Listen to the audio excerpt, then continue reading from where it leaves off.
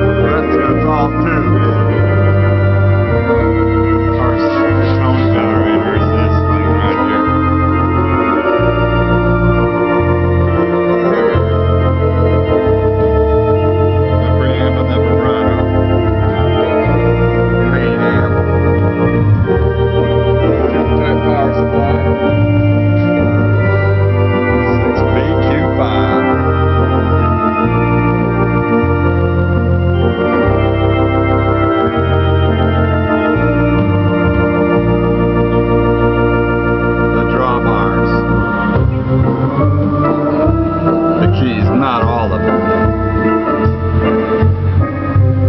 Because that's all the pedals. Whereas pictorial is like, not a schematic. This is not a schematic. This is the pictorial. Shows how the gross unit